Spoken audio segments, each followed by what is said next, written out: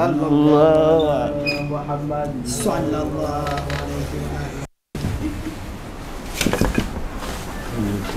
أعوذ بالله السميع العليم من الشيطان الرجيم. بسم الله الرحمن الرحيم.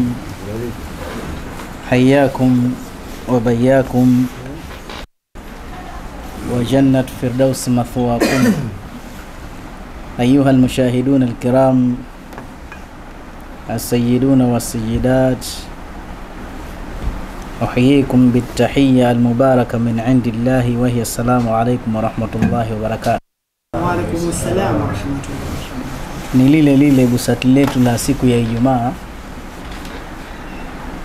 na leo kila sura ninayoiona ina bashasha, kwa sababu tupo katika sehemu ya kutekeleza awamiri zake Allah. Dhalika waman yuadhimu hurumati llahi fahuwa min taqwa lqulubi, pahala pengine fahuwa khairun inda rabbih. Dhalika waman yuadhim sha'air Allah,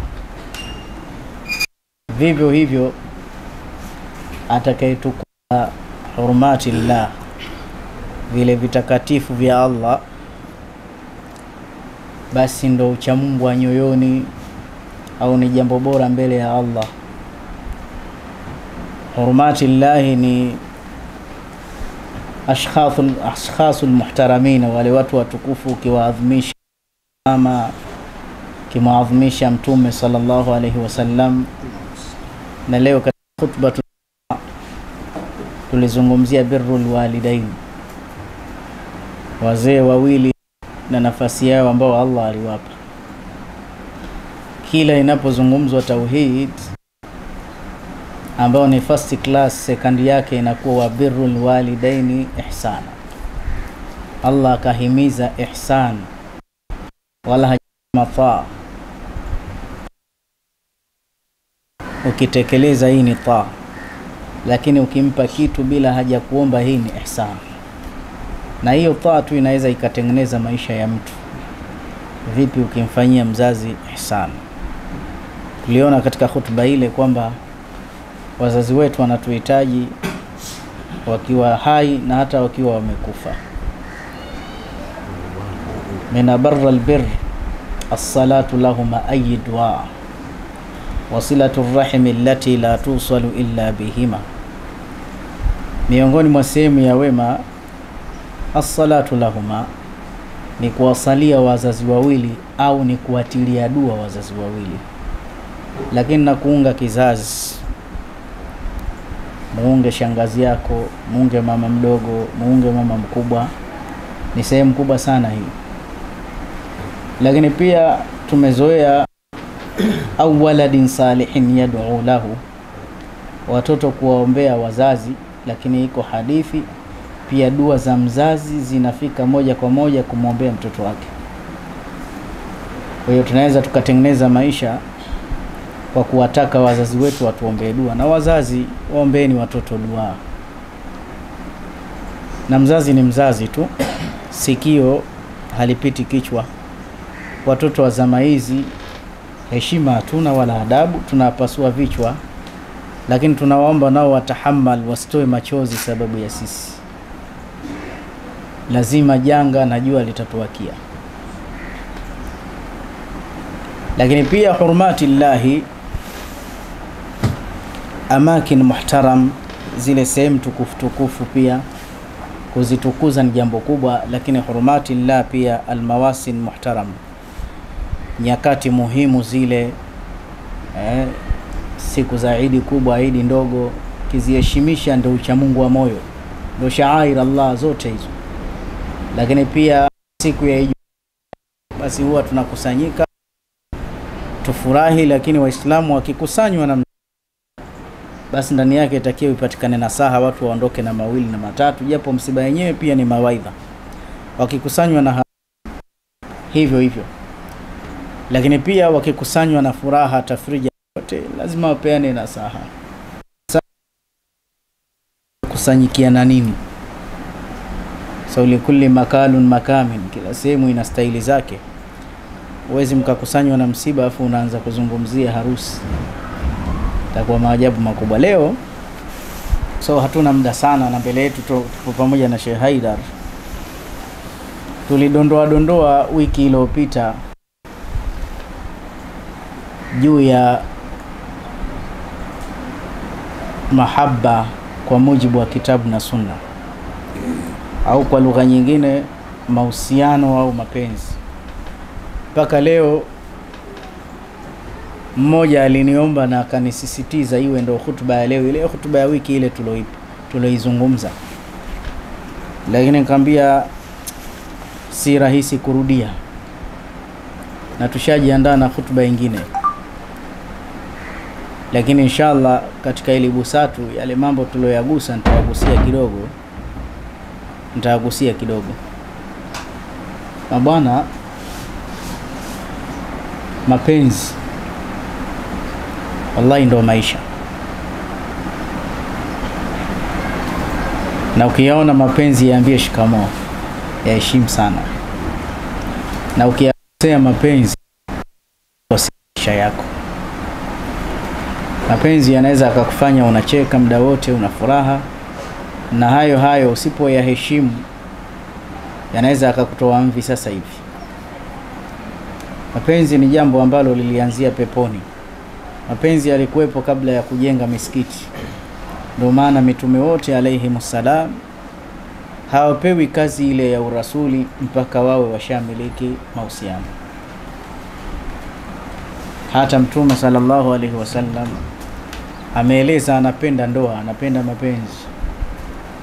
Dunia hii imeumbwa kwa ajili ya mwanaume lakini ataonekana kwa stress za dunia na kustruggle, kichwa chake kitapata moto.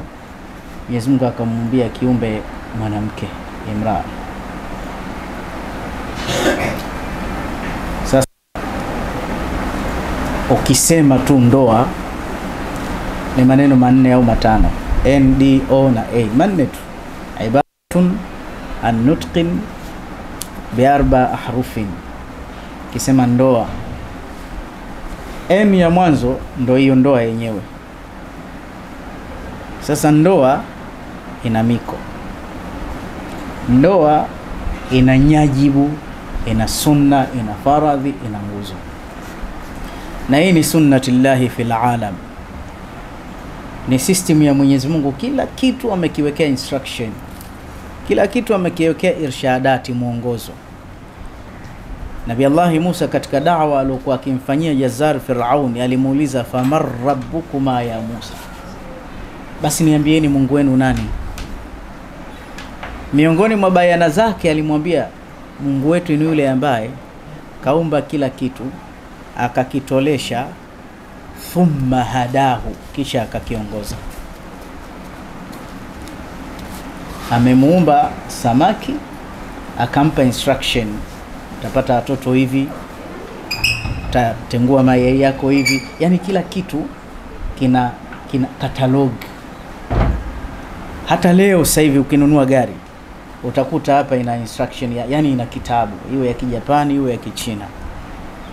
Ukitembea maili fulani, fanya service. Hata TV inatumika hivi hivi hivi, yani kinyume chake, usipofuata ule utaratibu ulioandikwa utaua chombo hiki mapema. Tunafahamu vizuri na utaua mapema. Sasa sembuse jambo kama ndoa. Ndoa yenyewe ina miongozo yake, na mimi nawashangaa watu, ndio maana wanaharibikiwa. Utakuta jambo la kuoana litakuwa lina mipango mingi, utaambiwa bajeti hii milioni ishirini, lakini ile bajeti ya mafundisho ya, ndao, ya ndoa haipo kabisa. Kuna vyakula, kuna nini. Kwa hiyo watu wanaoana lakini hawajuani, hawajuani kabisa. Mke hamjui mume, mume hamjui mke. Kwa hiyo N ni ndoa. Ndoa ikikosa taratibu, herufi ya pili ni ipi katika hizi herufi nne? Inaingia herufi gani? Maanake inaingia doa, inaingia kasoro, inaingia mapungufu na alama ya mapungufu ya ndoa ni kupigana. Alama ya mapungufu watu wa Mombasa ni kuteta. wanasema kuteta, kusemezana, kutukanana, vurugu, talaka, ugomvi.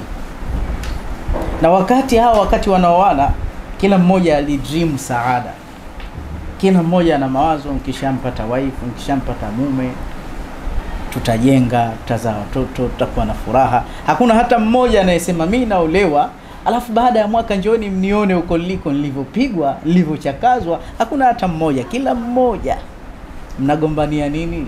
Kwa nini mnashindwana? Na ugomvi namba moja duniani ni ugomvi wa wapendanao.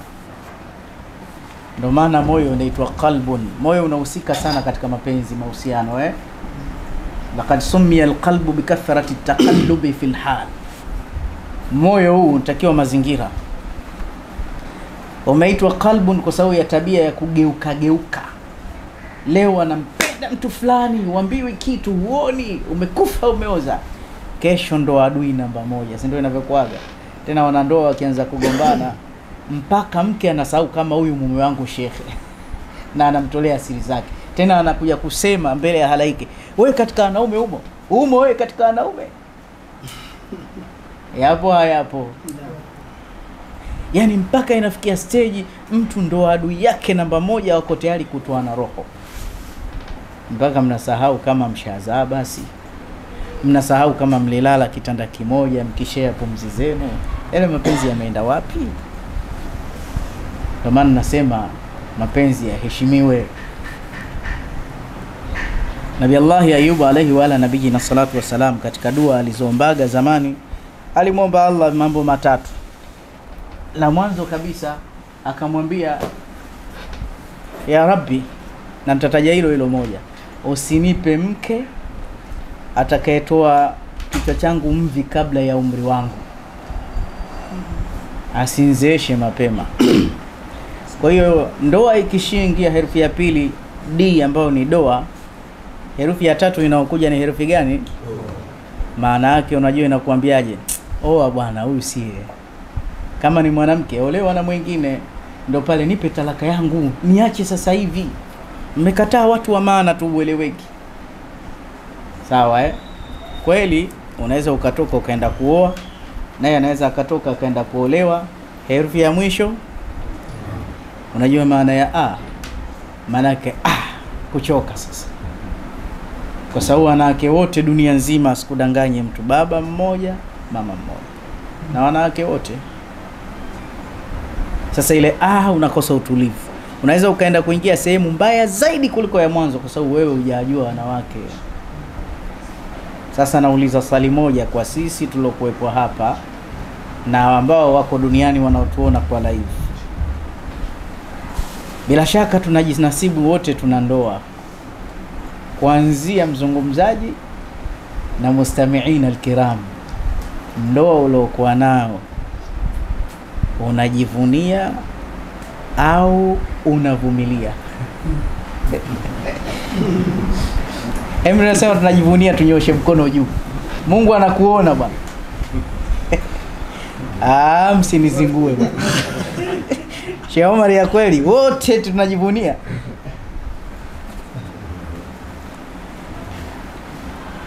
Sasa hapa hapa kuna kitu tunajifunza. Ndoa au mahusiano yana nguzo kuu tatu. Nguzo ya mwanzo kabisa ni mahusiano.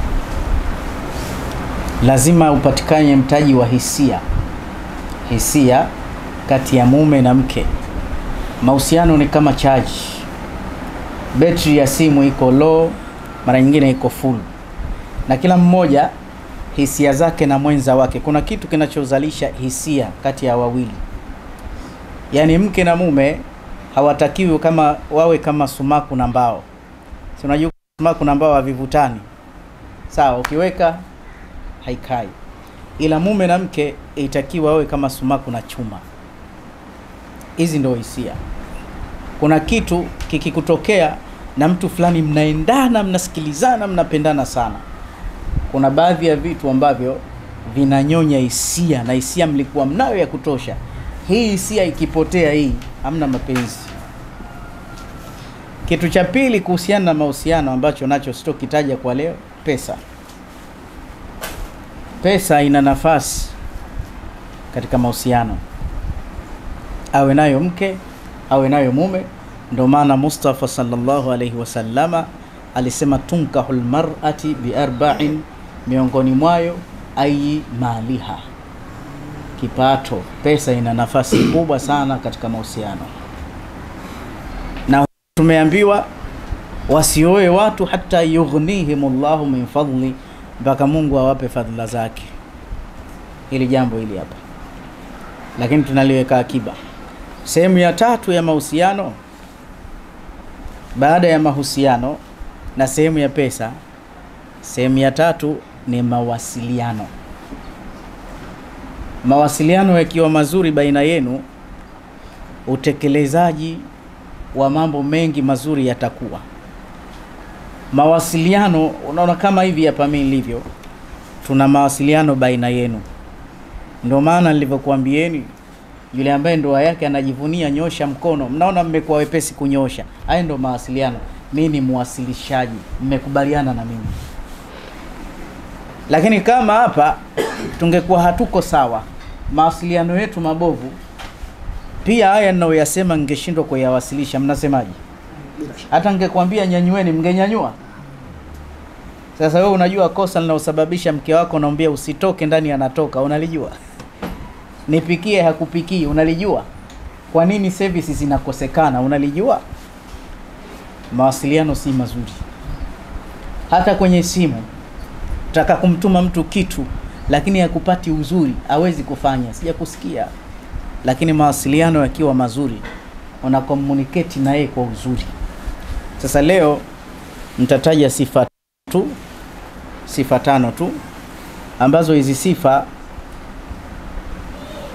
mwanaume yoyote akiwa nazo, wanawake kwake ni tajio lao. Yaani hizi sifa muhammasa tano tu hizi, ukiwa nazo wewe wanawake unawaua. Hizi tu basi, ni ziko ishirini, lakini nitataja hizi tu basi basi, khalas. Na ukiwa nazo hizi sifa, wewe ndio daktari wa kinamama wote, na huwezi kusikia talaka kwa sifa hizi tu na si zangu hivi, iktashafna, wanawachuoni wamezivumbua hizi sifa. Na wakasema wanawake wamehtilafiana katika sifa wanazozitaka kwa baba, wamehtilafiana. Wako baadhi ya wanawake wanapenda wanaume wabaya wa sura. Wako. Eh, lakini wako wanaopenda wanaume weusi, wako wanaopenda wanaume warefu, wametofautiana lakini sifa hizi wamekubaliana wanawake wote ni tajio lao. Sasa ukiondoka na hizi sifa hizi ukaenda kusimama nazo kwa mkeo, kwanza ni ibada. Sasa Mtume kishasema khairukum khairukum li ahlihi wa ana khairukum li ahli. Hizi sifa zote Mtume sala salam alikuwa nazo.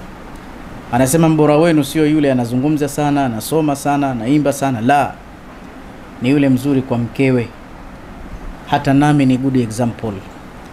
Mtume kwa familia aliiweza na yala la asafi, inasikitisha. Tunaambiwa mkoa wa Dar es Salaam peke yake, tathmini iliyochukuliwa kila siku, sio kila mwezi, kila siku zinavunjika ndoa mia tatu,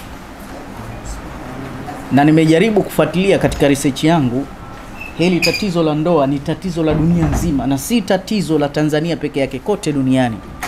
Lakini pia nimegundua karibia dini zote zina matatizo ya ndoa.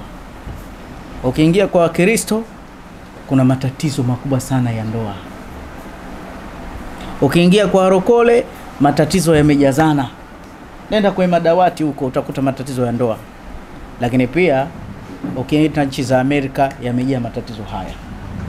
Lakini pia hata kwa sisi Waislamu, si Ansari Suni, si Salafi, si tarika haya matatizo yapo, na baya zaidi, mpaka watu wazima wanashindwana. Hivi sasa watoto wengi wanalelewa ni watoto wa single mother kabisa. Ikiwa watu wazima wazee wanaachana, sisi vijana wa leo tutakuwaje? Haya matatizo ni mengi sana haya.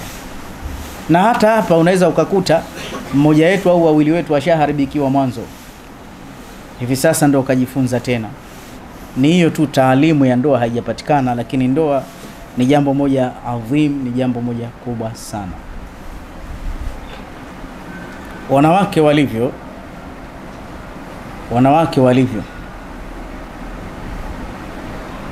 kilichomtoa kwao hakufuata kwenu kula wala hajaja kwako kuvaa, na hata pia ni makosa kumwambia mwanamke mi nakulisha na kuvisha. Hata kwao yalikuwepo, na mara nyingine unamuoa mtu kwa kuna uwezo zaidi ya wewe. Wallahi, kuna kitu kakifata, kafata mapenzi. Mapenzi haya ukiyasoma yana daraja 15 Sheikh Hassan. Kuna mapenzi yanaitwa sababa, gharam, kuna ishqi, kuna shaghafu, hubbul qatl, na yote yamesimuliwa ndani ya Qur'ani. Maratul aziz turawidu fataha nafsihi siya nafsiha qad shaghafaha hubba gharam Allahumma save anna adhaba jahannama inna adhabaha eh kana gharama. Mapenzi haya yana daraja nyingi mpaka kuna a'la alhubbu alkhalili. Mwanamke kafuata tu ana kiu ya mapenzi, ana kiu ya mapenzi na yule ambaye anahisi mkewe kafuata muamala huo kachelewa sana. Kwanza ukikithirisha huo muamala huo, mara nyingi anakuchukia kabisa, si mambo yake kabisa. Ndivyo sivyo? We niambie tu, mwanamke gani kajiambia mimi nitaka kuolewa, shida yangu mwanaume? Muamala huo yuko wapi? Hayo sio mambo aloombiwa, hayo umeombiwa wewe. zuyina linnasi hubu shahawati minan nisa walbanin hubu zuyina linnasi hubu shahawati minan nisai. Mwanaume kaumbiwa ala ya macho kutizama. E, mwanaume tamaa yake macho tu tu, macho tu. Hapa akipita mwanamke hapa, kwanza unawawahi wenzio hawaniangalii, utaka uangalie tu, wafikiri nakutania. Yani ndo tulichoumbiwa na macho ya mwanaume hayashibi. Mwanamke apite sasa hivi amkute mzee kakaa vibaya, kwanza anatema mate ah, tena huona safari yake na mikosi. Lakini wewe na ushehe wako unapita unamwona chizi jalalani kakaa vibaya, mbona unageuza shingo? si ndio hivyo jamanini? Tena kama umepita haraka haraka unaweza ukariva tamaa yako macho, lakini yeye tamaa yake istimaa ataka kusikia tu. Basi haya unaoyasema yanaenda mpaka katika moyo wake. Mwanamke kusikia maneno mazuri ni sehemu yake kubwa sana kabisa. Sasa sifa hizi tano zichukue hizi hizi sifa tano zichukue hizi, ukiwa nazo hizi hujue umemtibu mkeo, kwa sababu mwanamke anapenda sana kuliko anavyopenda mwanaume. Unajua, unavyoanza kumtongoza upendo wake ni asilimia sifuri, lakini upendo wako wewe asilimia mia. Sasa kadri unavyozidi kumpa maneno, ule upendo wake unaanza kuchaji, baadaye unakuwa fulu. Alafu wewe kwa sababu kuna vitu vimekughuri kwake, ukishavipata upendo unaruzi. Kuta mwanamke ulikuwa ukimwendea mbio na hivi, sasa hivi una hata mpango naye kivile. Maumbile hayo, tofahamiane. Sasa ukiwa umesimama, rahimallahu mra'an au rajulan kanihi wakafa inda haddihi, Allah anamrehemu anayejua position yake ni wapi akasimama. Kwa hiyo baba, mtoto wa watu anakupenda, usimjeruhi, fanya haya mambo na muombe Allah akupe taufiki. wa min ayatihi an khalaqa lakum min anfusikum azwaja, yani wameitwa aya za Allah. Aya ziko mbili, kuna ayatu maqruatun wa ayatu mar'iyatun Yani mkeo ukimtizama vizuri unaipata adhmatillah, ukubwa wake Allah. Wanawake, sifa ya mwanzo anaoipenda kwa mwanaume ni atifun. Atifun, mwanaume romantic, mwanaume mpole, mwanaume mlaini, romantic. Hawampendi mwanaume mgumu. na ili uwe romantic wanasema mwanaume bora sasa ni yule anayetawaliwa na mkewe.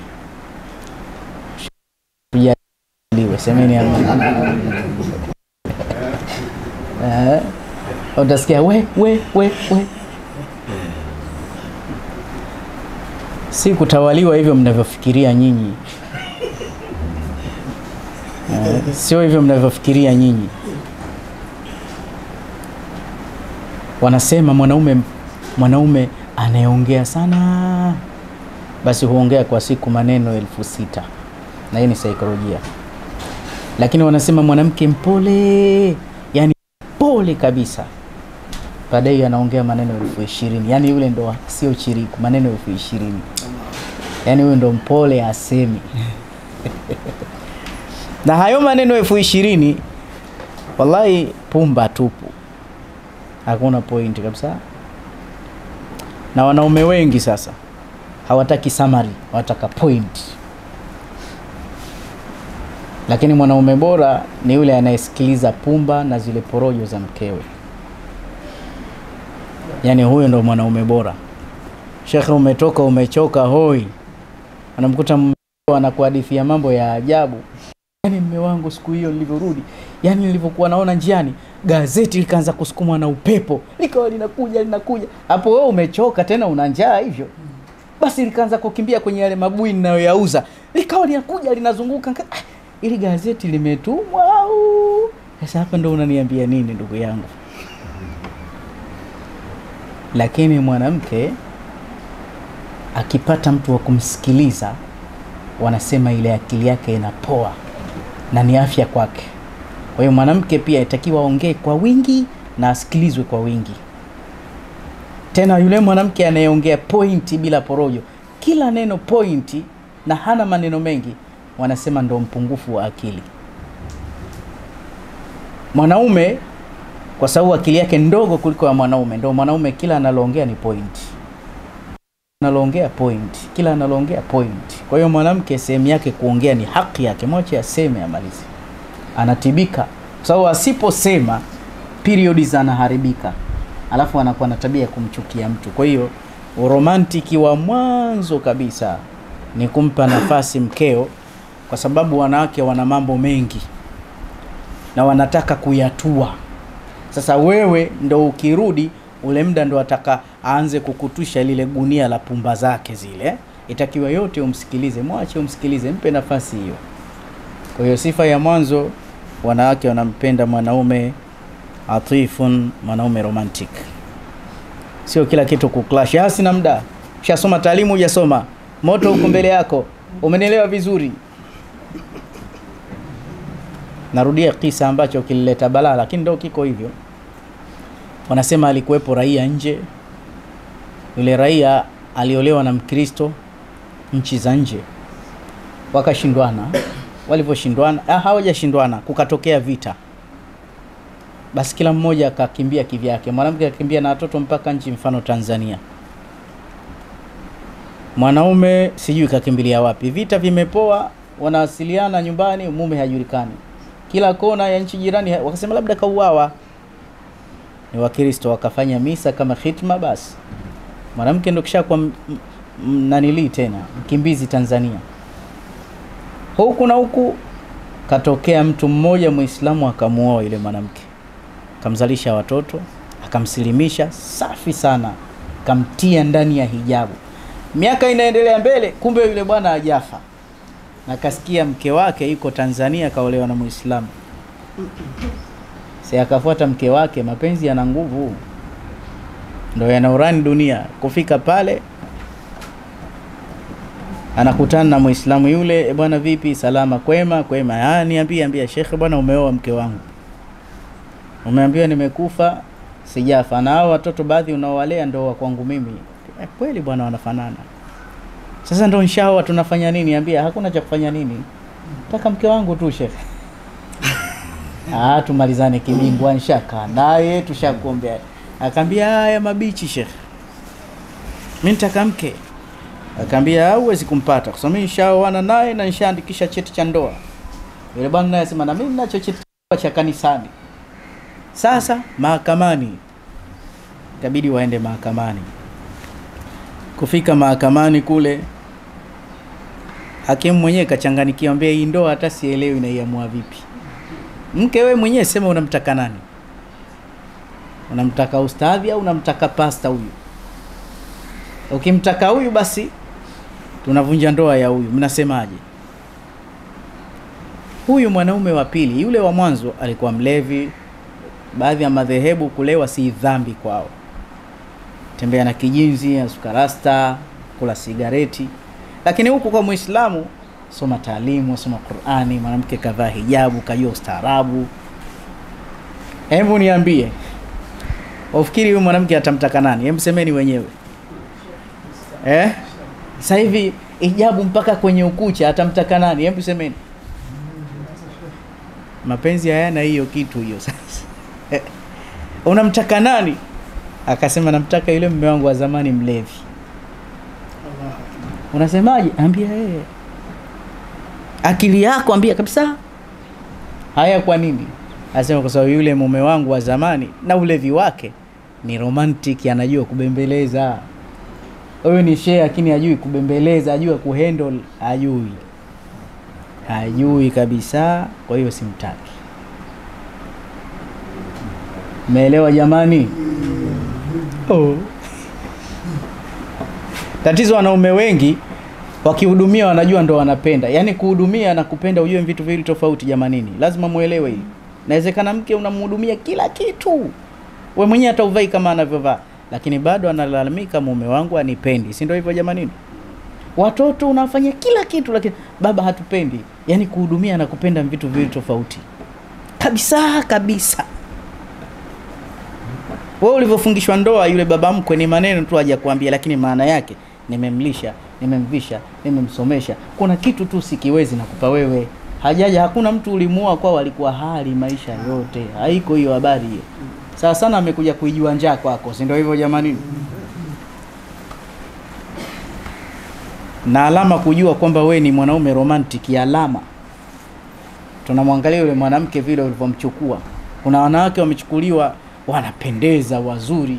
Sasa hivi kama mzee kazeeka, umemchakaza, una nini ustadhi wewe?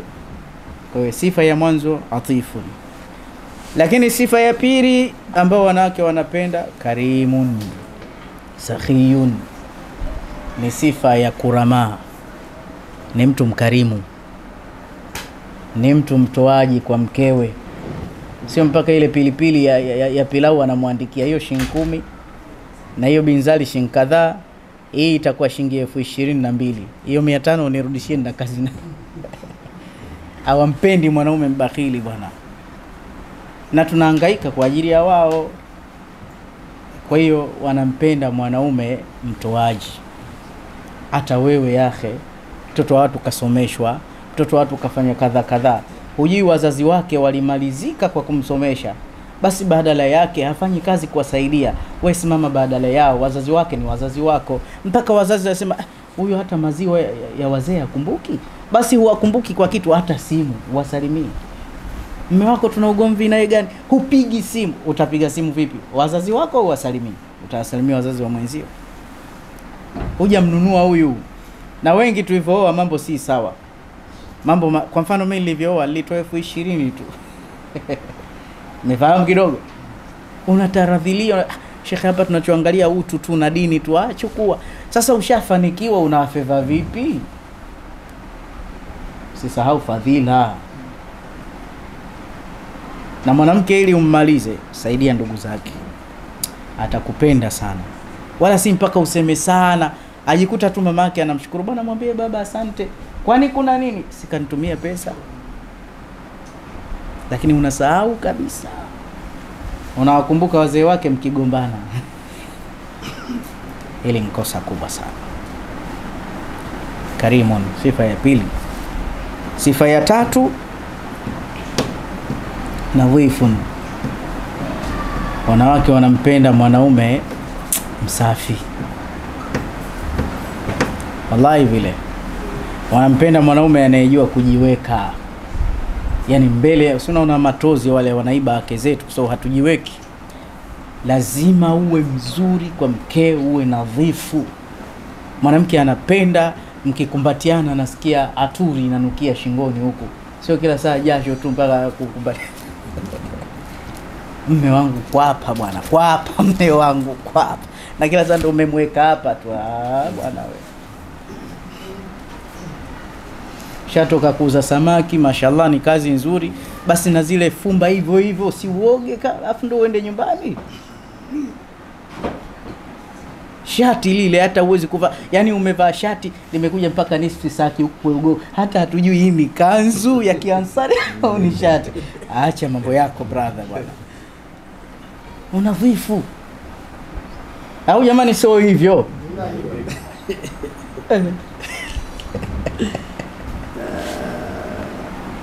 Na akikwambia mme wangu kaoge ugomvi. Wewe unaniona una, mi mchafu. Kwani si mchafu kweli? Umezeeka. Kama ndevu azivutii piga piga hina. Saina bakar ni sidiki mwenye kati ya hina kidogo. Chana nywele zako vizuri mswaki hata kama yeboyebo ndo uko nayo lakini isugue iwe safi. Baibui kanzu umechakaa ipige pasi vizuri. We mpaka sikukuu. Mpaka sikukuu. Na mtume sallallahu alaihi wasallam vitu vyote vizuri katupa. Katuruhusu iktahala nabii kupaka wanja kwa wanaume chini huku. Wanapendeza katuruhusu alatur manukato tafuta perfume yako tuna vile vipafyumu vyetu vya msikitini vya mia tano mia tano vinanukia hatari hata kile. Lakini pia unavikosea una jasho kali afu humo humo unatia na perfume, yaani ukipita utafikiri ni kawali kamepikwa fulani yaani vimemiksia uislamu unataka usafi na mwanamke. Oh. Sheikh Omar, mimi nitakwambia kitu kimoja. Si, sisemi mi msafi lakini napenda nguo za kiislamu kwa sababu hatari sister wale masista wale wa kikatoliki. Basi sista, wallahi na wala sikashifu asha ashataka kuacha usista ni muoe kwa sababu ya kanzu tu na kiremba. Kabisa. Vile vilemba vya kitablighi basi si, mimi naweza kufunga vilemba vya aina sita. Vya kiomani vya kinini. Tulivyokuwa kule markazi ndio mudhakara wetu vilemba unavaa kilemba mpaka mtu asema umefungwa na nani? Ufungwe na nani? Basi kinapigwa viu hivi kilemba kile kinashuka. Umeona vitu hivyo? Na kawanja fulani. Umeelewa vizuri? Na kanzu imekaa sawa. Na mimi namepiga mswaki. Basi ukikaa kwenye kamera kama hii ah, sisi kanyanyua simu. Ni, ni, ni slimu unioe. Ah, e bwana. Yaani amevutika tu na vazi la kwani hapa mnasemaje? Si poa hii au sio poa semeni wenyewe. Hmm? Mwanamke akija mbio mbio wewe ufikiri kwa nini nabii yusuf kataka kubakwa? Alikuwa nadhifu. Alikuwa nadhifu. Wewe unaenda kuoa hivyo ulivyovaa mwenyewe. Huyo mdada mwenyewe ah huyu mimi simtaki. Mm-mm. mtu mzuri tu. Mm-mm. hapana. Nadhifu ni sifa ya tatu. Kila mwanamke anaipenda hii wallahi ziokote uone yani utakuwa wa tofauti kabisa. Wako baadhi ya wababu washazeeka lakini mpaka leo wanaoa vibinti vidogo na vinawakubali vile wanavyojiweka. Kuna vijana kabisa lakini kijana mwenzie amtaki yuko rafu yuko rafu hii ni sifa ya tatu. Sifa ya nne ambayo wanawake wanaitaka sifa ya nne kila mwanamke anaitaka baada ya atifun mtu kuwa romantic kisha akawa karimun mtoaji akawa nadhifun. Sawa. Sifa ya nne ni sabirun. Na hii ndio muhimu zaidi. Asabru watahammul wanampenda mwanaume mvumilivu. Hii ni muhimu sana. Wewe si kama mwanamke. Mwanamke ni mwanamke mbali na wewe mwanaume mbali. Mwanamke ana mahoka yake. Kila ikipata mzunguko ana siku zake na zingine si zake. Akiwa kwa siku zake hayuko sawa. Anakuwa kama mwendawazimu ana tabia ya kuchukia mapema ana tabia hasira hasira.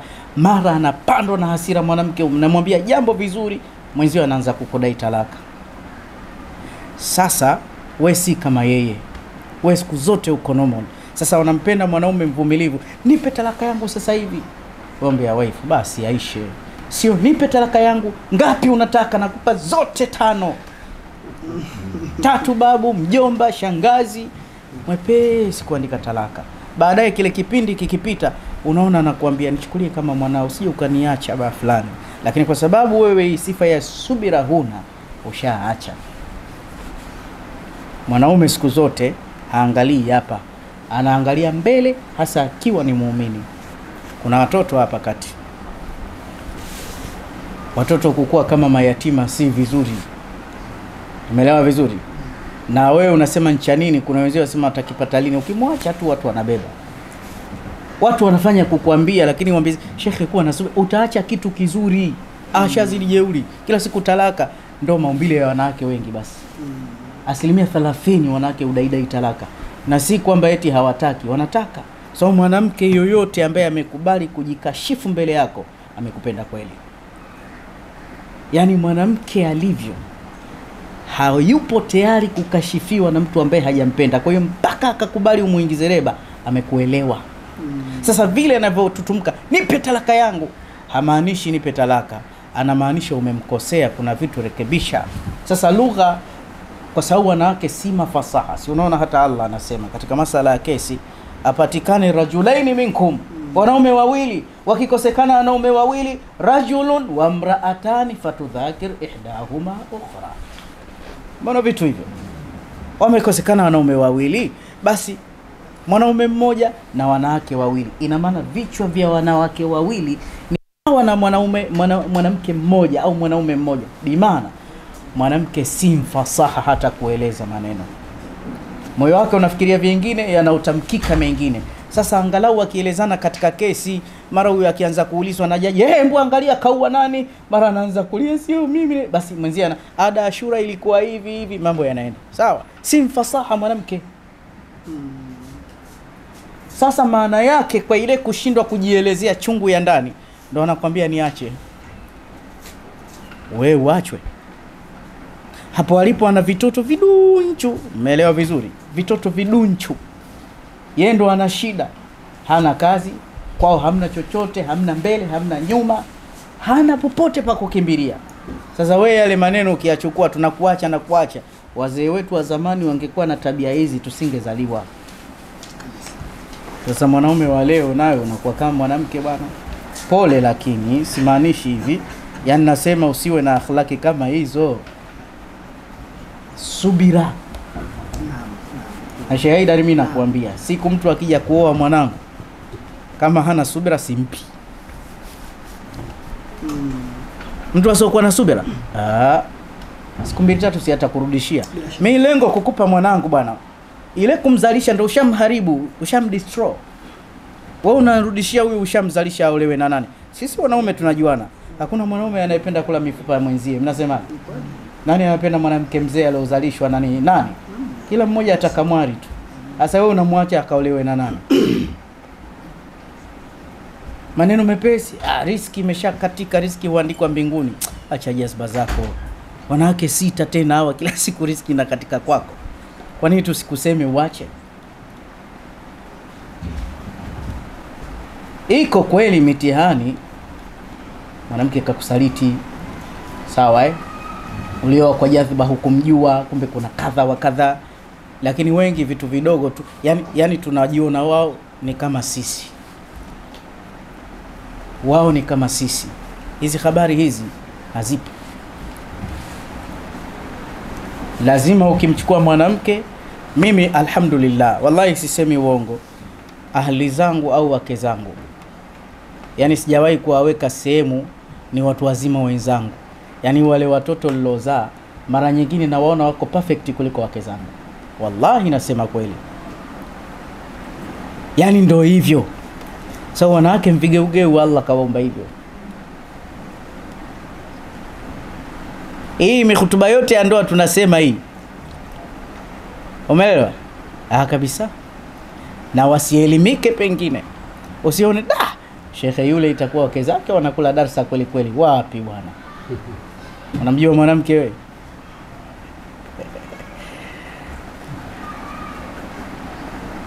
au unavyoona hivi yule atakuwa haudhiwi yule. Kasema nani? Yote haya ninaokuambieni yapo kwa wanawake. Na kama si subira kila siku tunaoa kila siku tunaoa. Hasa mtu akishakuwa na ushehe hivi au na ustaa hivi kamera zinamulika comment nyingi shehe nioe shekhe nioe basi maneno makali kwa wake zake. Yani msinisumbue mimi ni kama kama almasi kila mtu ananitaka yani kuna watu wanaomba utoke waingie. Si maneno mazuri hayo, si maneno mazuri. Kwa hiyo sifa ya nne wanamtaka mwanaume sabirun sifa ya mwisho tukomee hapo eh? tumpe na Sheikh Haidar kidogo. Alafu tuendelee na ule uradi wetu wa chakulan. Sifa ya mwisho sifa ya mwisho. Wanampenda mwanaume yule shakhsia. Anapenda yani maamuzi yake real yani anaamua mwenyewe kuhusiana na ndoa yake. Yani kuna wanaume kila kitu mpaka aamuliwe bana. Ndoa ni watu wawili. Mama anahusikaje mjomba anahusikaje katika ndoa hii? Hii linakera wanaume linakera wanawake kwa wanaume. Jibaba zilizima tol na nguvu halina maamuzi kila kitu ngoja kwanza tumsikilize mjomba. We umerogwa wewe? Wanakera kweli wanaume hawana maamuzi. Kawekwa mkononi na shangazi yake. Ndoa inarumotiwa. Jamani wapo hawapo? We msikilize mkeo amweni wenyewe malizeni wenyewe. Wewe una haya kabisa. Braza kaniambia uondoke. Kanioa braza yako braza yako ndo kanioa kuna mambo twende tukamalize. Na usikubali kile kitu kidogo kidogo tu. Hem twende kule kwa mama tukayazungumze. Hem twende kule kwa mjumbe tukayazungumze. Miongoni mwa athari ya watoto waliokosa suhuba ya baba wanasema miongoni mwa mambo ambayo wanaathirika wakiwa wakubwa wanashindwa kusolve baadhi ya kesi. Katika malezi ya watoto wakiwa wadogo kuna malezi nukta ishirini tulizitaja miongoni mwa nukta wanasema kumlea mtoto vizuri si kila kitu inatakiwa umsaidie mtoto. Sio kila kitu unamsaidia. Mtoto anajifunza baskeli basi ameshindwa kunyonga akadondoka basi eh, ngoja ngoja ngoja baba unaanza kumsukuma. Mwache aanguke mwenyewe aisimamishe baskeli mwenyewe akokote mwenyewe. Sio kila kitu mna, kuna vitu hapa kweli unamwona ameweka hadi unamsaidia. Lakini vitu vingine mwache unamkuta mtoto ana zile gemu kwenye simu anacheza mara ile imemshinda anaanza kulia. Mwache alie afanye mwenyewe. Atajua kinyume chake unatuletea lele mama. Kila kitu unamsaidia kila kitu. Mtoto kakaa kwe kazi kwenye, kwenye kiti kama ichataka kushuka "Eh, ngoja ngoja ngoja ngoja. Unamshusha. Mwache mi, mi na, na kabinti kangu kadogo kanaitwa nafisi basi kale katoto kitanda kirefu kakitaka kushuka basi kanaangalia katashukaje? Minanyamaza kimya. Mwisho unaona katachukua ule mto kanautupa. Chini afu kanakanyaga kanashuka. Basi mpaka leo. Umeona? Eh, akitaka kupanda na usogeza anapanda. Shughuli inapotokea. Sasa ule mto upo chini afu yupo juu hamna mto mwingine. Pale sasa ndio tunamsaidia. Umeelewa vizuri? Sasa mtoto kila kitu anafanyiwa. Mtoto wa darasa la nne hajui kufua. Nguo zake mama yake nguo zake nani? sisi wakati tulivyokuwa wadogo tunafua wenyewe. Tena kipindi si tunafua sabuni hakuna shehe wangu tunafua na mkonge. Unaikumbuka mjomba hiyo? Eh, hey, mkonge. Da, da, hey, ile. Nalainika. Yaani unajua kabisa hakuna sabuni njia mbadala. Sasa mtoto kulelewa hivi kimayai hata akiwa mtu mzima mambo yote anashindwa kusolve mwenyewe eti ana wajukuu lakini ndoa yake kwa mjumbe. Yani ukuta mzee mzima amekaa pale wanazungumza na wajumbe nao wa, wa, wana fitna hatari kwa kuachisha ndoa. Oh. Yani mjumbe ukifika pale shekhe andika talaka. Andika talaka au una Una matatizo. Kwa nini upeleke kwa mjumbe? Siku hiyo sahaba mmoja kapewa maneno ya sawasawa na mkewe. Hajamjibu. Unajua anamwambiaje subiri nimpelekea amira almuminina umari naenda kukusemea. Kaenda mpaka kwa Amiri Almuminina Umar. Mbio, akamwambia mke wangu kanifanya hivi. Alipofika pale kashushuka kwa kwa sababu alipofika pale kwa Umar ndani huko akasikia kuna vitasa vinaendelea, kish! Nakwambia nitakuwa na wewe nitakuwa ti ah, kusikiliza. Ah, asema kule kwangu kuna nafuu. Akaanza kurudi Omar akamwona tayari yake mumkin stadhanta we uligonga hapa? Ambia niligonga mzee. Niligonga mke wangu kanitukana. Lakini nakuja huku naona judo zinaendelea kabisa. Si afadhali ya mimi? Akaambia "Ah, sikiliza bwana. Lete kesi yako. Ya kwangu niachie hapa hapa. Lakini nakuambia hivi hawa wanawake tujifunze kuwavumilia. Tuna dhifu na albayt wanatusafishia majumba tutubakuna taam. Wanatupikia taghlisna malabisana wanatufulia na mungu hata hajawapa amri hizo. Hizi ni hisani zao. Kakae vizuri na mkeo bwana. Unashindwaje kuongea? Nenda kaongee na mkeo. Hata mi naongea tutayamaliza. Tutayajenga. Tumefahamu jamanini nini? Tutabadilika inshallah msione kwamba yule shehe kasema kanipania yaani ndo nami najiambia hivyo eh. si ndo najiambia karibu Sheikh haida Asante. Karibu. Bismillahir Rahmanir Rahim. Assalamu wa warahmatullahi wabarakatuh. Waalaikum salam. Alhamdulillahi rabbil alamin wassalatu wassalamu ala rasulillahi sallallahu alayhi wa alihi wasallam amma ba'd. haida ndio hapo bwana, na tunachukua hapa eh? njoo hapa Sheikh. sheikh Sasa namshukuru namtoa shekhe hapa.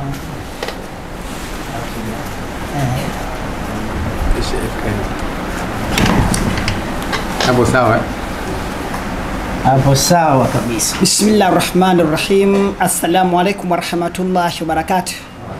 Alhamdulillahi rabbil alamin wassalatu wassalamu ala rasulillahi sallallahu alayhi wa alihi wasallam wa mabad. Ndugu zangu, baada ya kumshukuru Allah lakini pia kumtakia ziada rehma na amani bwana mtume Muhammad sallallahu alayhi wa alihi wasallam. Ah, majambo makubwa ni mawili tu. La kwanza ni kumlaumu Sheikh Uthman badala ya kumsifu japo kwa tabia yangu ni kumsifu, lakini kwa leo kanikosea kusema ukweli. Nami namchana live hapa kwenye kipaza sauti. Kosa lake alilofanya katangulia kusema yeye kabla ya mie, wakati kimsingi yeye ni mfukiaji wa mashimo ninayoyaacha mimi. Ungideche nianze mimi bwana, afu ndio mimi nasema nini baada ya kusema wewe bwana. Lakini jambo la pili, wakati tulionao huu, kusema kweli, wengine hapa wanasikia tu hawasikilizi kutokana na nyakati na ukaribu wa hatua inayofuata, kwa sababu hatua inayofuata hii ndio imekuwa ni ratiba ambayo huwa inasubiriwaga na watu wengi hata katika shughuli mbalimbali. Ni ratiba moja ambazo kusema kweli huwa zinaondosha umakini wakati mwingine, ile ratiba yenye tani- taniwini mbili chakula. Sasa hata hivyo, inshallah jikazeni mnisikie, kwa sababu sitasema muda mrefu, na kubwa zaidi hapa Shekhe ameshazungumza kimsingi, amemaliza na amegusa katika kila eneo na amezungumza msingi wa maisha yenyewe, na hiyo ni mapenzi ambayo kusema kweli yanagusa viumbe wote na hakuna kiumbe ambaye hausiki na jambo hilo. Sasa basi, pamoja na hayo yaliyozungumzwa katika busati letu hili, wakati mwingine huwa tunapata na tafakur tafakari yetu ya leo ni hii ifuatayo, inahusiana na haya haya mapenzi. Hatutoki katika hilo eneo. Kikubwa sana, hebu zingatia hapa kwamba wewe kama ndio ingekuwa wewe imekutokea hiyo, ungefanyaje katika mahusiano yako? Lingekutokea hili, wewe unanisikiliza hapa na popote pale ambapo inafika sauti yangu, ungefanyaje ndugu yangu? Ndugu zangu, katika maisha haya yana mambo mengi na miongoni mwa mambo ambayo ameshai kuyagusia hapa Tashe Othman ni kwamba ni ile hali aidha kutotoshelezana humo ndani au pengine ni tabia za moja kati ya hao wahusianao wa-. Imetokea kwamba bwana mmoja wakaishi na mkewe vizuri tu, lakini katika mijadala yao ya kimaisha wakakubaliana katika utafutaji washirikiane katika kushirikiana kule ikaonekana kwamba mke yule kazi anayoiweza ni upikaji wa chakula ambao kwa huku, kwa huku Tanzania tumezoea mama ntilie. basi akaendelea na kazi hiyo. Katika kuendelea na kazi hiyo siku moja yule bwana akaona kwamba ah, katika pitapita zangu naona leo nipitie kazini kwa mke wangu kule kama chakula nikapatie kule pia.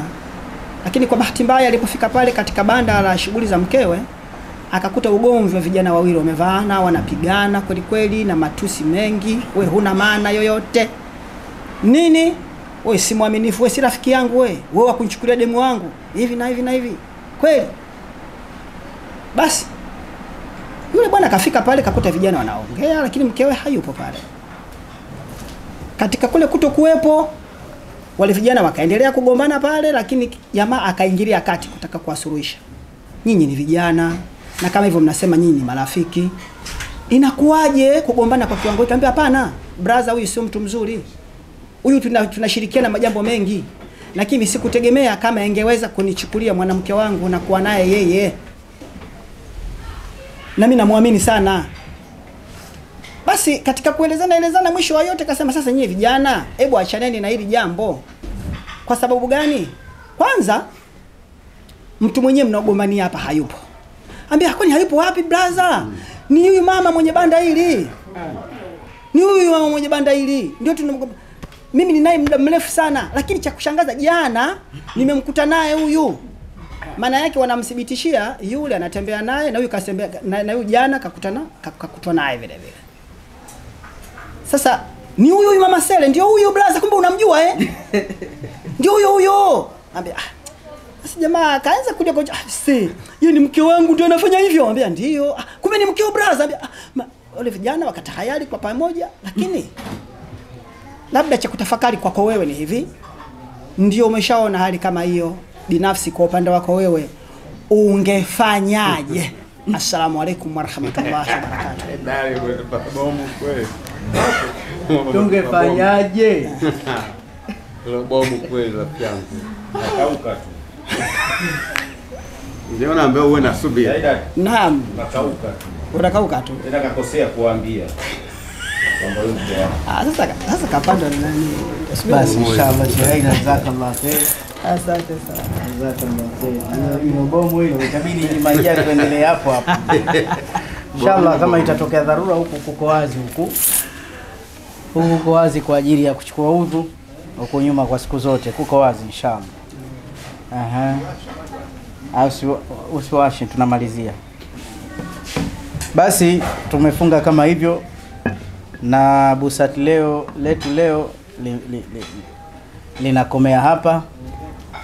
Na alhamdulillahi leo tuna akhillah vipenzi wengi tuna mashekhe tuna marafiki na kila mmoja kwa nafasi yake tumeizingatia tunasema itifaki imezingatiwa. Karibuni sana mjisikie mpo nyumbani. Na waislamu kukutana kufurahi ni sehemu ya ibada. Lakini tunataka kusema tena inshallah hapa ni penu na isiishie leo. Kila aljuma tunavyokutana kama hivi tunapata fursa ya kupata kilma kutoka kwa mashekhe mbalimbali alhamdulillah leo tulikuwa na ustadhi hasan shah msomaji mkuu wa qurani alhamdulillah tumepata fadhila zake wenyewe asema mwenye, mwenye macho haambiwi tizama lakini pia akaja chuma cha mkuranga Sheikh Hassan Ngonyo. aya majina ya Hassan Hassan yana balaa zake za kheri. Chuma cha mkuranga naye amefanya balaa zake mashallah. Lakini pia tuko na mkalimani wa viziwi ndugu yetu Sheikh Ibrahim Minja. Huyu amesilimu kama mimi na tumefanya harakati kwa pamoja muda mrefu sana. Ni mtaalamu sana wa mawaidha kwa njia za ishara, kwa njia za ishara, na hivyo anavyofanya vina maana yake. Mi nilisoma kidogo, nilisoma kidogo, vina maana yake. Kuna chama kinaitwa cha vita, ndio mara nyingi unakuta wengi hapa. Uh, si kwamba unavyoona inafanyika fanyika tu, ina maana yake. Allah subhanahu wa ta'ala Mtume sallallahu alaihi wasallam. Una- Maana yake si kwamba unaona tu hivi mtu anasema hivi mm. Na usipojua kuna watu wanapenda kufanya hivi Anasema nembo za Freemason. Ah, hii maanake vema, very good. Hii maanake very good. Sawa, si unaona? Maanake hii bajaji umeelewa? eh? Maanake bajaji. Ndege inakuwa vipi? Hebu kumbusha kidogo. Hii ndege sawa, hii maanake ndege. Tunaweza tukafanya hivi, sawa, treni hiyo, sawa eh? treni hiyo. Naweza tukafanya hivi, maanake baskeli hiyo. Umeelewa sawa? Mashua, meli tunafanya vipi vile? Shasahau hivi. Mhm. Ndizi iko hivi, emlete ile ndizi kidogo. Ehe, hivi ndizi. Manake ni jana, ni leo, ni kesho, ni kesho kutwa. Usiku wa jana inakuwa vipi? Umeona, usiku wa jana make igiza, usiku wa jana usiku wa kesho, manake kesho. naishafamu vizuri. Mungu anakuelewa. Kwa hiyo ni alama sawa. Hii ni C, umeona kuna A mpaka unaandika ile namba CHAVITA. E, CHAVITA. Shekhe, mbu tuandikie CHAVITA, ndo chama. Umeona? Aha. T kumbe iko vipi ile?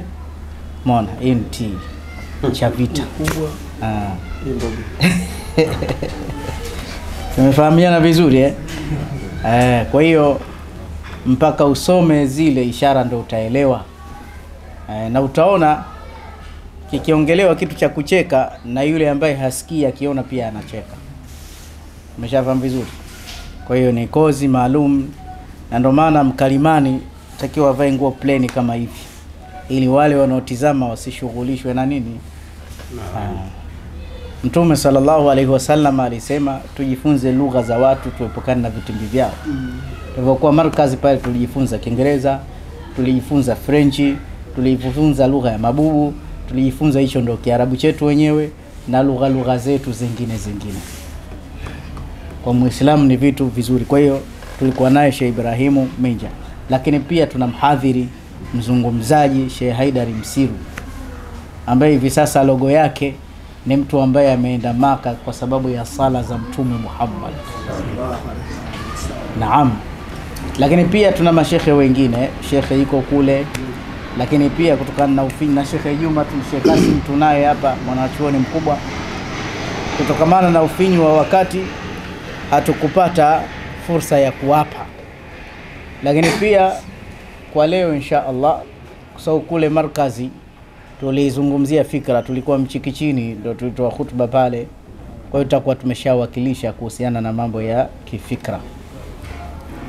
Kwa hiyo mwenye ambaye ana wasaa, basi siku ya leo ni siku ya kukutana na kubadilishana fikra, na leo tunasema Sheikh Saim Gwawa, Allah amlipe, ukaaji huu ni mzuri kweli Sheikh, ukaaji huu ni location nzuri sana. Leo la kuondoka nalo katika zawia yetu hii la kuondoka nalo ili kusaidia hali zetu za kimaisha. La kuondoka nalo, wiki iliyopita tulizungumzia kushika ndugu au wazazi kutafungua maisha, lakini pia tuliondoka na somo la hasadi na tulieleza vipi mtu ataondokewa na hasadi. Leo mambo ya kuondoka nayo, kwanza hii ni zawia ya dua na mashakiri mbalimbali kuondosha mambo ya uchawi, mambo ya nini. Leo tutataja tu baadhi ya vitu ambavyo vinasababisha kuturudisha nyuma kimaisha, vinatukung'uta na vinasababisha kufirisika. Hivyo vitu nitataja tu vichache kabisa. Kitu cha mwanzo kinachosababisha kufirisika, wakati wa kuamka jua likakutangulia. Usikubali jua likutangulie likachomoza, we bado umelala. Bimaana usingizi wa baada ya sala ya alfajiri unaleta ufukara. Muislamu itakiwa aamke kabla ya alfajiri, afanye nyiradi na ile pale. Ukiamka kabla ya sala ya alfajiri, kuna fadhila za kusoma suratu Yasin. Man qaraa Yasin, takaisoma sura hiyo mwanzo wa mchana tabu zote za siku nzima Mwenyezi Mungu atamsaidia nazo.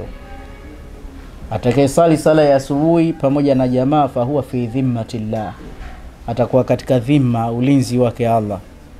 Lakini pia atakayesali sala ya ishraq, ukipenda iite dhuha, kile kipindi jua limechomoza, biqadri rumhin, kiasi cha upinde. Ukisali rakaa mbili ukaongeza mbili zingine zikawa nne, utapata ziada ya riski Kwa hiyo kitu cha mwanzo kinachosababisha kupata ufukara kutanguliwa sisi na jua. Itakiwa jua likichomoza, sisi tushachomoza mapema. Kwa hiyo hata wewe mmaliza kusali alfajiri, kuna maana ya kujirudisha kitandani, lakini si maana ya kulala. Na ndio maana ndoto za alfajiri zote nyingi za ubongo na za mashetani ni sawa na wakati mbaya kulala baada ya asiri mpaka magharibi. Hili ni jambo la mwanzo ambalo linatusababisha sisi kupata ufukara. Jambo la pili, kuna babu karahiyatu neema, mlango wa kuchukiwa na neema mbalimbali. Miongoni mwayo ni kugeuza sunna, kuzipeleka mbele nyuma, nyuma mbele. Mfano, kiatu itakiwa uvae uanze mguu wa kulia, ukivua uanze wa kushoto. Wewe ukitanguliza wa kushoto, wa kulia, kuna mambo yatakupata katika maisha kabla hujafa. Jengine, watoto wadogo ambao hata ni watoto wako, ukiwa promise utawaletea chochote ili wasikukere, niachie, nitakuletea pipi. Wale watoto wadogo, kwa sababu hawana madhambi, ile kutarajia kwao, usipotekeleza jambo lile, kuna mambo yatakupata katika maisha yako kabla hujafa. Ni muhimu sana. Lakini pia kula alafu ile ile sahani ni kiburi, unanawa mle mle ile sahani. Ukimeza kula, itakiwa upate suna ya kuilamba. Lakini pia wadudu kama mbu akikung'ata, kafara yake waue kabisa. Lakini ukimwachia tu, ukimfukuza hivi, huenda na malalamishi, imetolewa kwenye riski yangu.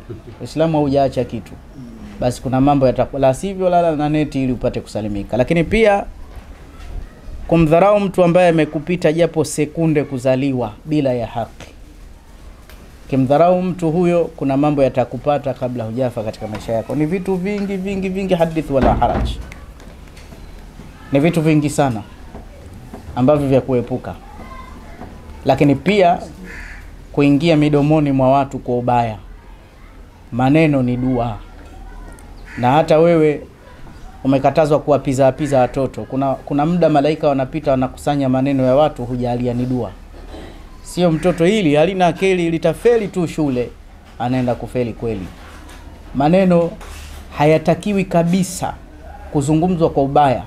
Alilaumiwa Nabi Allahi Yaqubu kwamba la yahzunani katika qiraa au la yahzununi an tadhhabu bihi, mtanisikitisha mkienda naye, wa an yakulahu dhibe, alafu akaliwa na mbwa mwitu hakukuwa na maneno mengine.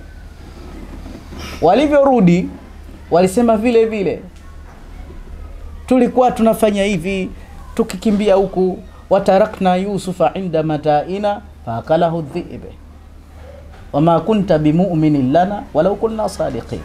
Vile vile alivyosema, walikuja kumwambia vile vile, kama ulivyosema kweli, kaliwa na mbwa mwitu mtoto, vile vile ulivyosema. Kwa hiyo pia vile vile na sisi miongoni mwa mambo yanayoleta hatari ambayo tunajiapiza wenyewe, kumwambia mke wako, mimi nakujua wewe hujatulia tu, utaanza uhuni wako sasa hivi. Hakuwa na hiyo fikra, ule uhuni unaanza. Ndo kama wewe mkeo akikudhania, hatakiwa aidhihirishe ile dhana. Akikudhania na mtu fulani, wewe nakuona kabisa na yule mwanamke mnavyoendaenda, mi sielewi, hata kama ni mfanya kazi. Kuna kitu kinaingia kichwani mwako, ala, kumbe huyu mwanamke ana, ana uzuri mpaka mke wangu akandhania. Anaanza kukuingia fikirani kiasi ambacho hukuwa na fikra naye. Basi na wewe pia uwe mwadilifu katika maneno yako, lakini pia epuka maneno ya kuashiriwa kwa ubaya na watu, ile watu huyo bwana huyo bwana, kwa sababu ya visa vyako, kuna baadhi ya mambo yatakukuta katika maisha kabla hata hujafa, kwa sababu mdomo unaumba. Usikubali kuzungumzwa zungumzwa vibaya, na ili isiwe hivi, wa khaliqin nasa bi khuluqin hasan. Sasa kama amesha kupata, ni sehemu ya kupata hasadi. Hasadi ni kitendo cha kuharibikiwa mambo, hata ile mijusi kafiri kafiri inasababisha kuharibikiwa mambo. Kwa hiyo kwa kifupi, sasa kujiondoshea hizi hali ambazo zishatupata mwilini ni kuchukua maji ya udhu kwenye chombo cha beseni, tawadha mwenyewe, sikutua, osha mpaka magoti bila hata kuzingatia idadi, kaoge, weka nia ya kuondosha kijicho na hasadi. Inshallah nuru yako ya kimaisha itafunguka upya na utaona kila jambo linakwenda. Watu wengi kilichowazuia ni hasadi tu na kijicho. Hichi kinatupitia kwa sana sana sana, na alama ya hasadi, alama zake ni nyingi, miongoni mwayo myumbo wa maisha, kupoteza nuru ya uso, kuharibikiwa, kurudi nyuma kwa kasi. Hizi zote ni katika alama za hasadi. Hasadi ni mbaya kuliko hata hayo majini, kuliko hata uchawi, na unaweza ukahusudiwa kabisa na mtu au ukahusudiwa na jini au ukapata hasadi za mji. Kwa hiyo pia ukiingia miji, wale wasafiri, kila mji una shari zake, kuna dua za kujikinga na hasadi kama hizo. Inshallah tutaangalia wiki ijayo tutaendelea na kitu gani katika busati letu hili. Namwomba Mwenyezi Mungu insha Allahu kheri atulipe kila la kheri, atuepushe na kila la shari. Amin. Baada ya kusema hayo, inshallah tu, tu, tusalini kama njaa si kali, alafu tule, lakini kama njaa ni kali, basi tuleni, hakuna neno. Tuswali kwanza.